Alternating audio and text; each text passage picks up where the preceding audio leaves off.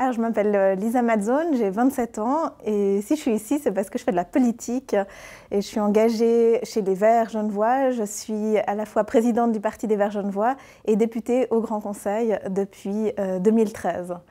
J'ai décidé de parler de l'Europe, d'abord parce que j'ai un lien évident avec l'Europe puisque je suis binationale, je suis italienne et donc j'ai un passeport euh, européen.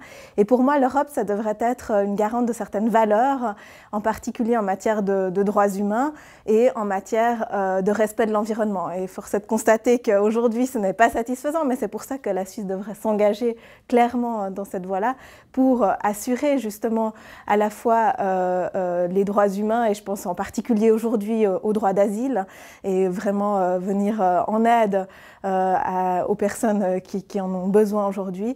Et puis, je pense aussi que l'Europe devrait s'engager d'une manière plus décidée en faveur de l'environnement et d'une économie notamment durable, mais aussi en faveur d'une juste redistribution des richesses.